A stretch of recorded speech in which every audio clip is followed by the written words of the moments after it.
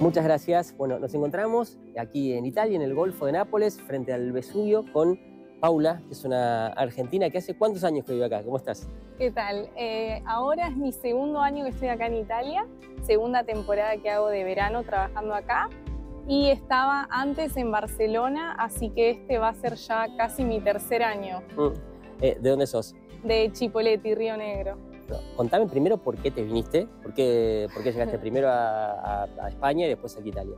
Eh, mirá, desde que era chica, eh, a los 17 años hice un curso de italiano, un mes acá en Italia, y me encantó. Entonces dije, bueno, cuando tenía que volver a estudiar, eh, soy arquitecta y decidí luego que en algún momento quería volver a Italia, me enamoré.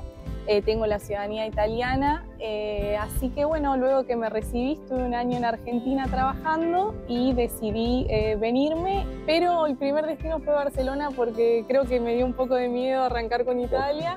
Así que y había mucha gente conocida, amigos en Barcelona y bueno, fue Barcelona el destino inicial. ¿Estás acá ya establecida para quedarte o pensás regresar a la Argentina? Eh, mira, por ahora para quedarme, sí. Eh, no tengo planes de volver en este momento. La verdad que esto me sirve también para conocer, viajar, eh, por ahí otras eh, posibilidades que yo no tenía estando en Argentina o que no las tenía, que era más difícil acceder, ¿no? Primero elegí este, este tipo de trabajo en la hostelería para aprender bien el idioma porque yo lo estudié en Argentina entonces cuando estaba en España dije, bueno, si realmente quiero estar en Italia, creo que antes de buscar un trabajo como arquitecta eh, debo perfeccionar el idioma.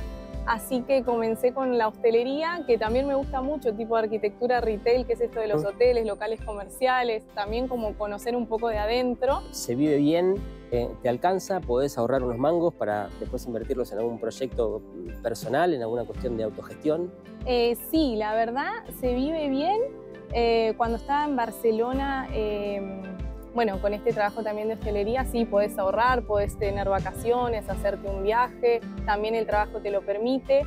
Y acá en Italia la diferencia que, yo hago es que el trabajo me da el alojamiento y comida por ser la temporada de verano. Entonces, bueno, ya estamos hablando de que no tenés que pagar un alquiler, entonces hay una, hay una diferencia grande, digamos. ¿Y qué horario haces?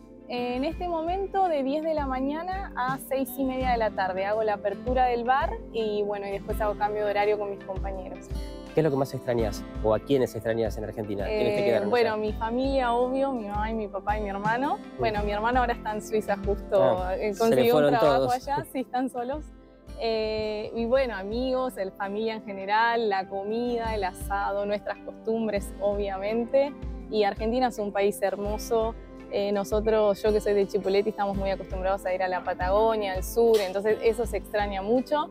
Eh, y bueno, sí, mis papás se, extraña ¿Y qué es lo más lindo que tiene esta zona?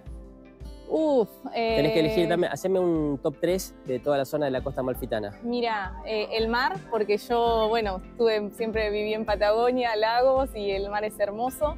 Eh, el Vesubio divino y bueno, y después los lugares, Positano, Amalfi, Sorrento, no, sé si podría elegir. Es todo lindo. Y, sí, la comida, ¿no? Me pones en una situación difícil. Así que no sé. Bueno, Paula, muchas gracias y que, que sigas siendo feliz acá y ojalá en algún momento eh, te tengamos como arquitecta eh, célebre en Argentina. Sí, seguro, en algún momento volveré, obviamente.